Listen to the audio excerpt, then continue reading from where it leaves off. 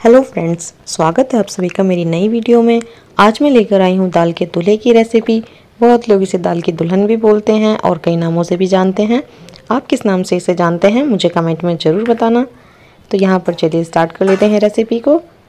मैंने अरहर की दाल ली है एक कटोरी। आपको जितनी बनानी हो, उसके हिसाब से आप क्वान्टिटी को एडजस्ट कर सकते हैं। तो दाल को अच्छी तरह से साफ़ कर लेंगे। देख लेंगे इसमें कुछ है तो नहीं, कंकर वगैरह। अब दाल को साफ़ करने के बाद अच्छी तरह से धो लेंगे। दाल को अच्छी तरह से साफ़ कर लेना है। आप देख सकते हैं, पानी का कलर बिल्कुल चेंज हो गया है। तो यहाँ पर मैंने एक बार दाल को धो लिया है, एक बार और धो लूँगी।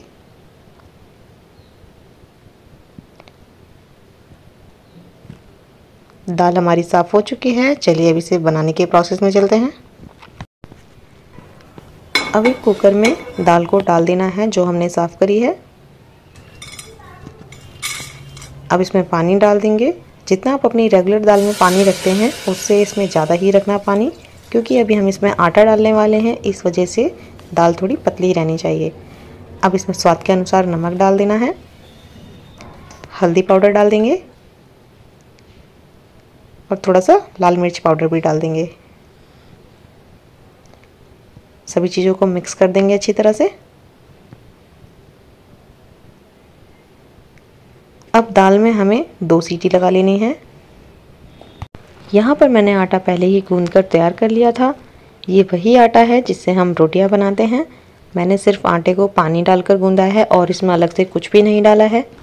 आप चाहें तो इसमें हल्का सा नमक डाल सकते हैं। कई बार ऐसा होता है कि रोटियाँ बनाने के बाद आटा बच जाता है। आप उससे भी इसको बना सकते हैं। तो यहाँ पर मैंने फ्लोर को अच्छी तरह से साफ़ कर लिया है। अब इसी पर मैं यहाँ पर बेलने वाली हूँ। आप चाहें तो चकले का यूज़ भी कर सकते हैं, लेकिन मैं यहाँ पर सरफेस पर ही बेल रही हूँ। तो लोई बना लेने के बाद इसमें सूखा आटा लगा लेंगे। अब इसकी एक रोटी बनाकर तैयार कर लेनी है। रोटी का साइज़ थोड़ा बड़ा ही रखना, क्योंकि जितनी बड़ी रोटी होगी, एक बार में उतनी ही टिक्कियाँ आपकी कट जाएँगी। तो यहाँ पर मैंने रोटी को बेल कर तैयार कर लिया है।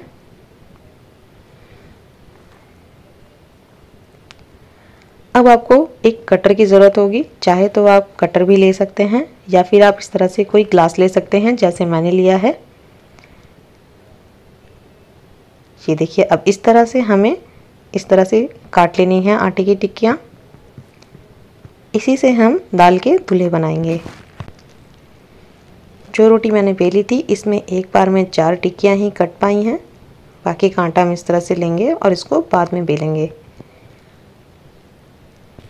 तो यहाँ पर हमारी आटे की टिक्की तैयार है, दाल के दूल्हे को शेप देने के लिए। तो देखिए, शेप देने के लिए आप इस तरह से पकड़ें, इस तरह से पकड़ें और ऐसे करके दबा दें। इसके तीन कोने बना लेने हैं। एक चार कोने वाला भी बनता है, वो भी मैं आपको बनाकर दिखाऊँगी। ये देखिए अब इस तरह से पकड़ेंगे, दोनों तरफ़ से बराबर पकड़ना है। और बीच में से बिल्कुल सेंटर में इस तरह से दबा देना है। तो इससे आपका चार वाला बन जाएगा, चार कोने का बन जाएगा। आपको जैसा पसंद आए वैसा आप बना सकते हैं। तो मैंने यहाँ पर तीन वाले बनाए थे। तीन कोन के बनाए थे मैंने। ये देखिए, बहुत ही आसान है इसको बनाना। तो यहाँ पर मैंने बनाकर सारे तैयार कर लिए हैं। चलते दाल को देख लेते हैं। गैस निकल चुकी है, कुकर को खोल लेंगे। दाल को हमें बहुत ज़्यादा गलाना नहीं है। आप देख सकते हैं ये किस तरह की है। थोड़ा सा चमचे से इसे दबा दबा कर चला लेंगे तो ये अपने आप ही इसकी कंसिस्टेंसी सही हो जाएगी। अब जो हमने दूल्हे बनाकर रखे थे, उसे दाल में डाल देना है। जब आप इन्हें दाल में डालें तो गैस का फ्लेम ऑन कर लें। आटा यहाँ पर कच्चा है, लेकिन फिर भी ये एक दूसरे से नहीं चिपकेंगे, ये सारे अलग अलग ही बनेंगे।